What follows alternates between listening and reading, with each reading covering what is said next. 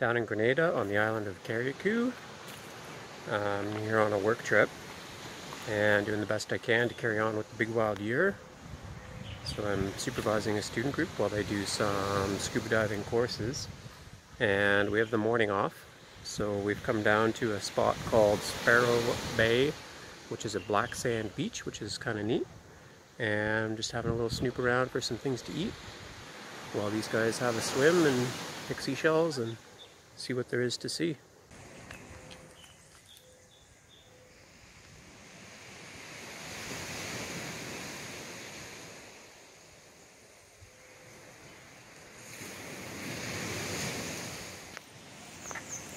When I was here last year at the same time, these um, cactuses had their fruits on them and they were delicious.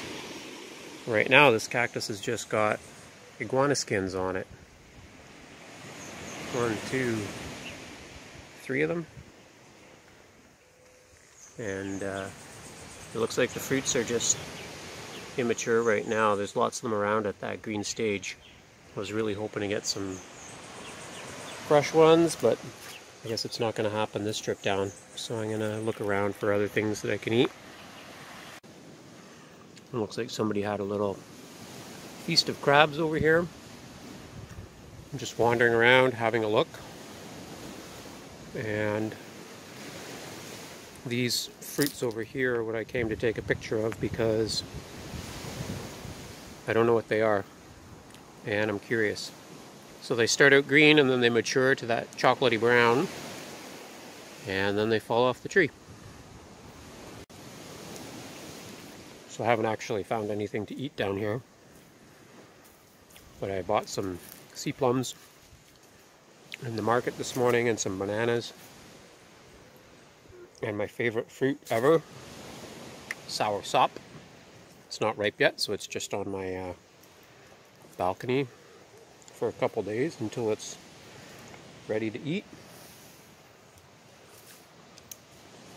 Thought I might see an iguana or something. But so far nothing. The students are all swimming and snorkeling, checking out some of the fish around that big rock. And I've just been snooping around in the woods here. Lots of little lizards, which is pretty cool. I'll flip the camera here. So there's one there, for example. So if I was back home and I heard a little rustling like that, 90% of the time it would be a little sparrow. And here, 90% of the time, it's a little lizard or an anole or a gecko. It's pretty cool. Here's some more of those fruits.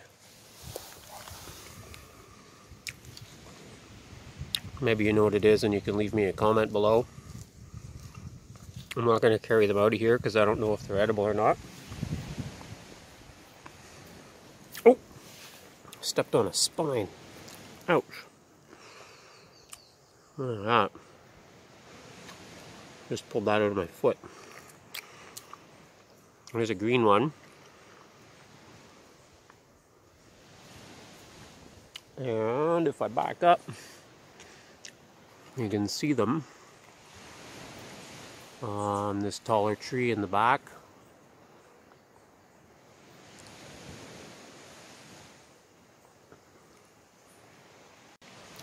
I think I looked them up last year and they were not edible, but I can't remember what they were. But I'll ask some of the local guys. And then we have five and a half days of dives. So I'll be out with the students they have some advanced uh, open water or some uh, open adventurer diving to do. And I'm going to do some lionfish hunting. Oh, that mean I'm doing less? Oh, look at, that. Keep your sandals on, boys and girls. Ouch. Don't walk around barefoot. What was I saying? Five and a half days of dives. So, have a stockpile of coconuts to uh, dry. mangoes to dry, citrus fruits to collect and eat, dry the peels. So I'll still be doing lots of stuff, but I'll have a little bit less time because I'm uh, doing dives with the students and I still have my work emails to do and things, but fit in as much as I can. There's an organization that patrols the beaches here in the turtle nesting season. Uh, and I'll show you something here. So that kind of looks like maybe a turtle nest.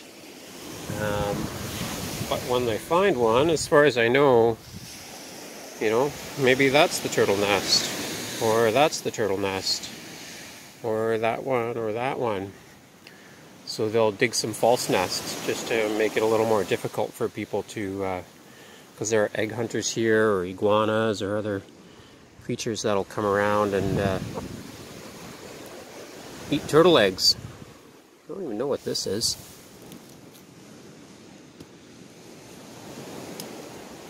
Big piece of bone. Oops, not in the camera.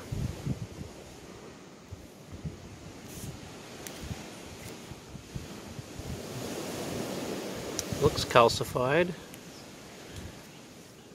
I don't know what that would be. Old piece of turtle shell or whalebone or coral. Something that got burnt in a fire. It'd be a mystery. So we've been wandering around quite a bit. One of my students, Jadrian. You can be famous on YouTube now. Yeah, Swapping stories and did finally find some cactus tunas, but they're on this other cactus. I haven't picked from this kind before. I don't know what it is. Um, so I'm just going to try and carefully um, take off some of these guys. Oh, I might need my knife for that. Oh no. I got to be careful because there's still little, uh, I guess they're called glochids, little short spines and uh, I don't want those in my mouth when I'm eating them so. See there's one here I don't know if I'll be able to reach that tall one. One down here that's reachable? Oh two at the back two nice ones. Yeah. So I will not go back empty-handed and also on the walk in I, we went by a really really nice tamarind tree so I'm gonna pick from that as well. Look how fantastic that color is.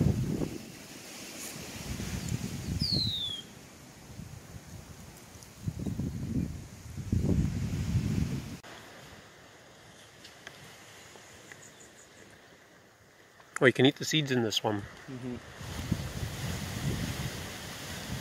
It's a little bit bland, but I like it. That's alright. We'll pick a few more. Yeah, this is a beautiful tamarind tree. So we've all had our swim. Anybody who wanted to swim and we're on our way back. And we're going to pick some tamarinds. I don't know if very many of them are on the ground, but there are lots of lots of little ones up in the branches. So we'll see how we do. You want to pick these ones here that are like this light brown color. Okay. Um, and then there are some older ones that are darker, but I don't think we want those. We just want these fresh looking ones. I think that's too old. Let me get you in the video there. Those dark brown ones I think are too old, but we could crack it open and see. No, that's the right color, that light brown. That's good.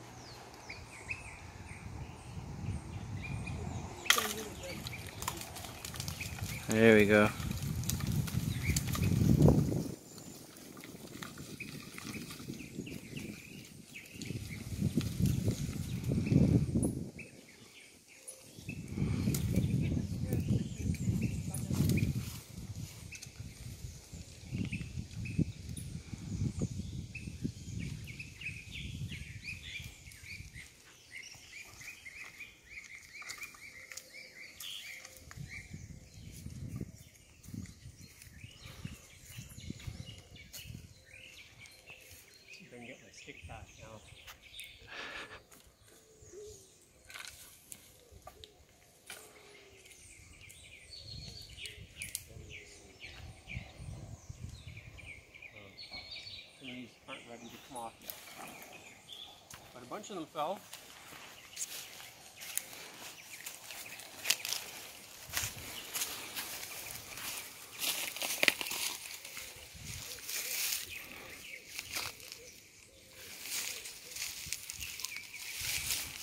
There's a few. Try a couple more low hanging branches and see how we make out.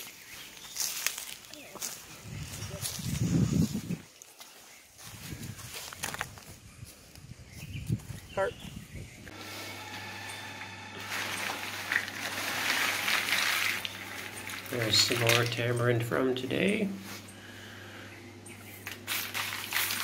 Just let all those guys dry out.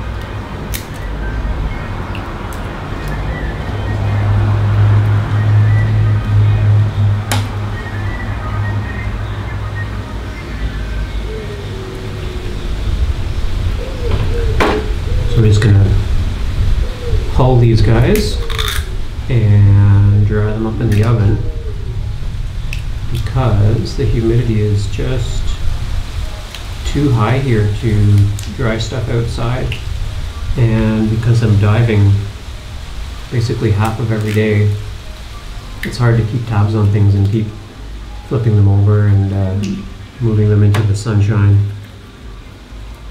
so the oven's making a huge difference. Ooh, a rotten one.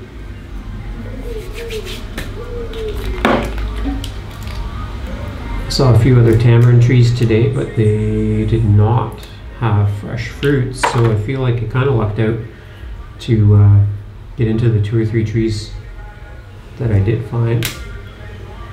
And it was nice to have help from the students the one day as well, picking sped things up a bit. Such a good flavor. Um, they make a cooling drink here with it. So there's tamarind and maybe some sugar blended together, or I'm not exactly sure how it's made. But it's kind of become a favorite of some of the students. They have it every day at lunch. And uh, somebody shared one with me the other day, so I tried it out. and It was really good. So I'm going to have to look that up and see when it gets hot back home. I Can maybe mix up something similar with some uh,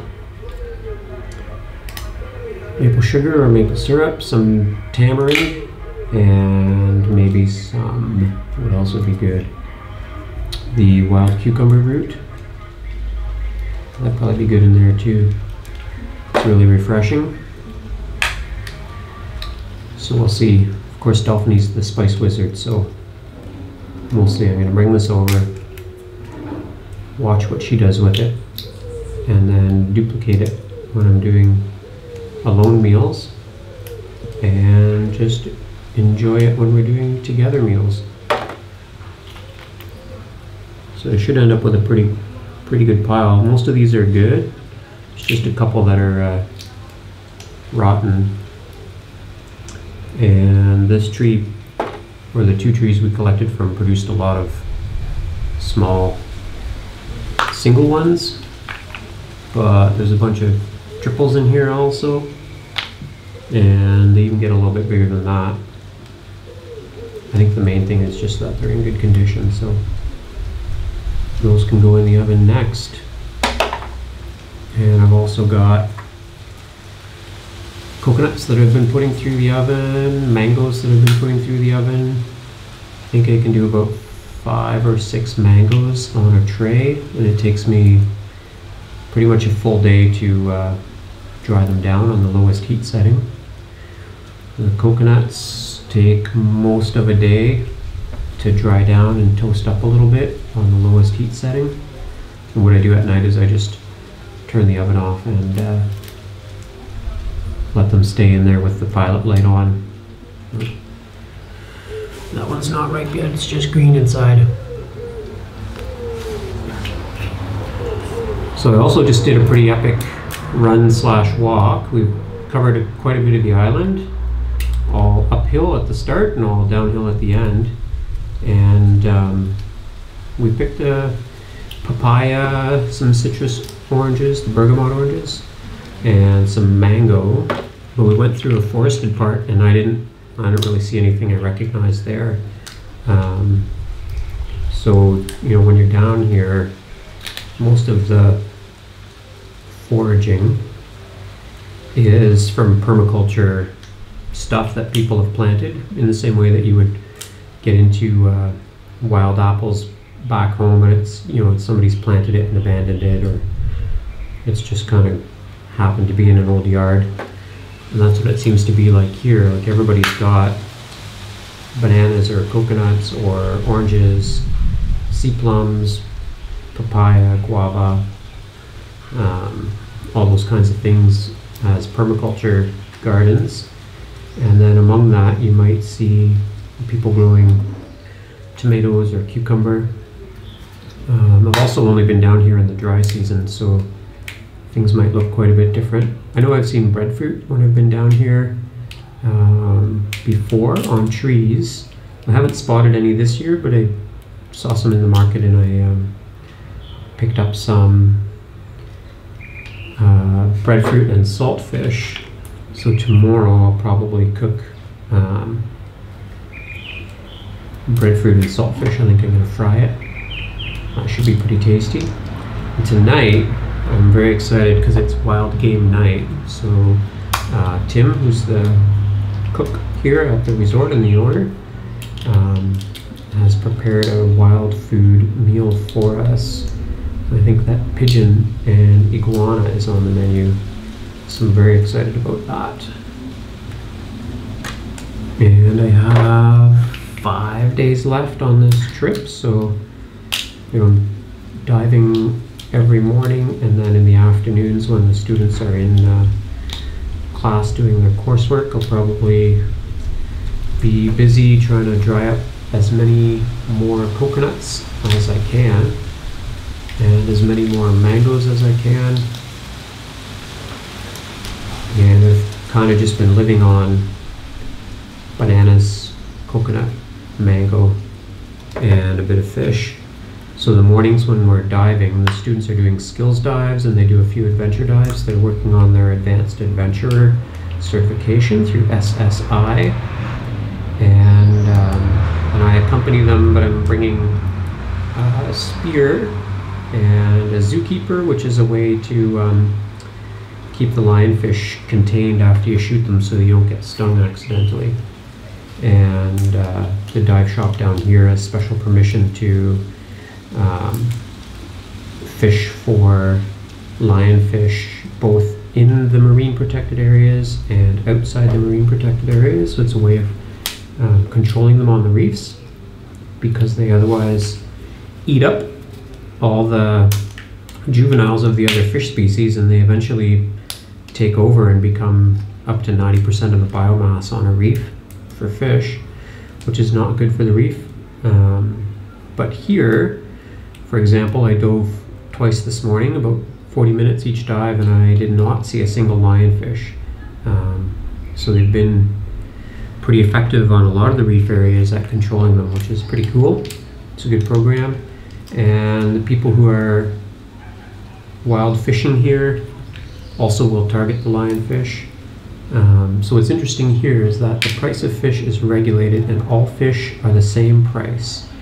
All fish are six Caribbean dollars, which is the per pound, uh, which is the equivalent of three Canadian dollars per pound, and is the equivalent of about uh, two dollars and change per pound US. Um, so it doesn't matter if they shoot a barracuda or a lionfish or a parrotfish, they all have the same per pound value. And um, which kind of in some ways incentivizes people just to shoot bigger fish. Uh, although, you know, there are definitely species that are more desirable. If you go for lunch, um, you're very likely to um, see barracuda on the menu or marlin on the menu, and then less frequently you'll see other fish, or it just won't be advertised by species. So if you get a fish sandwich, it's probably something else that's been um, made into a fish burger, which are pretty tasty too. I've had those in other years. Um, and then there are people who go out deep sea fishing, so you can charter uh, fishing boats to take you out for marlin. And you can do long line fishing. I've never done that. I'm not quite sure how the licensing works. It's something I have to look into. Um, in case I'm down here on a trip and I have a chance to go longline fishing. So for now, I've got my dive certificate to be a lionfish hunter, and uh, so that's going to keep me busy most mornings for the rest of the week. And then these tamarinds and the coconuts and the mangoes are going to keep me busy for the afternoons. And I might also uh, go and observe a hunt. Um, so the game species down here are the pigeons, the big ones, and iguanas, and opossums, which they call manicou. Um, I haven't seen one yet except for a couple of squished ones on the road. I guess there's enough of them around, but they uh, maybe are active at night. There's a pretty good bird variety down here too. The pigeons are really numerous. Tropical mockingbirds, Carib grackles, banana quits. Those are the ones that I see most frequently. And then out on the water, it's the uh, brown boobies, the laughing gulls, and brown pelicans, uh, and the frigate birds. So those are what I see most frequently out on the reefs. And uh, the fish, I'm not so good at identifying when I'm underwater yet. Um, but there's a really good variety of them down there as well. Reefs are like the tropical rainforest of the ocean. They're super productive. They're very critical. Um, they help to break up the waves before they hit land, so they're important for that. But they also are a source of food for coastal communities, and uh, ultimately they also supply the, the bird food chain. So lots of the birds are fishing on the reefs. That's where you see the pelicans, the laughing gulls, the brown boobies. Um, they're, they'll also fish in the open ocean, but they you tend to really see them around the reefs. And probably wonder about sharks. Um, so if you're really, really lucky, you'll see a black-tipped reef shark here. Uh, last year I heard that somebody had seen a hammerhead. And we sometimes will see nurse sharks, which are a shark that doesn't even have teeth. Um, but typically they like the cooler water. And when we're diving, water temperature is like 27 degrees Celsius, so it's pretty warm. The air temperature's been about 32 every day, and the humidity's been up and down around 60%. So those are the conditions. And what's kind of weird coming down here too is because you're close to the equator, the uh, daylight length of day doesn't really change very much. Um, so back home we were just getting into our longer and longer days, and then I came down here and the days were short again. So that'll be uh, strange going back. Like it's 6:30 now, and it's just about to get dark. Um, where back home, I think we might have light until maybe nine, nine o'clock, 8:30, 9 o'clock now, which was a nice change from the winter when it was getting dark at four o'clock, which is kind of a bummer. Hard to get a lot of sun in the winter in uh, northern Canada. Uh, down here, it's hard to not get too much sun. I've been really careful, so I've kept my sunburns to a minimum, and uh, so far so good. There's a pigeon in the palm tree right beside me. see if I get a picture of that for you. Now that I'm all stained with tamarind juice.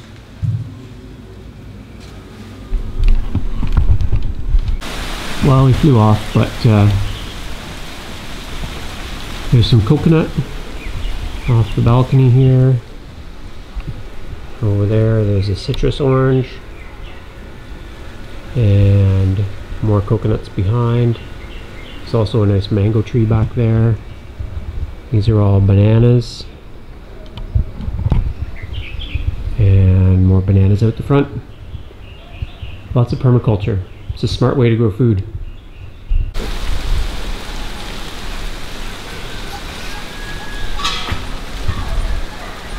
There's a couple of pigeons over there.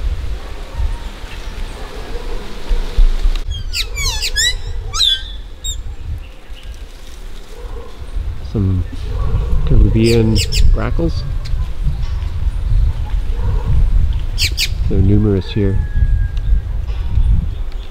And a little puppy at the resort. Hey buddy, hey, he's a biter. He just wants to play all the time. Hey, you're a toe biter a lot of the time. Hey, quit biting. Hey, quit biting.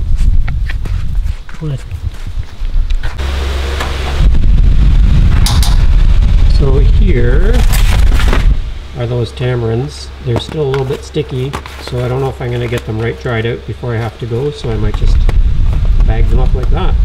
And then I have another batch to put in, and I leave tomorrow. So I need to get them done. This is probably my last batch of coconut for this trip. It's not quite dry yet, but some of it is browning up nicely.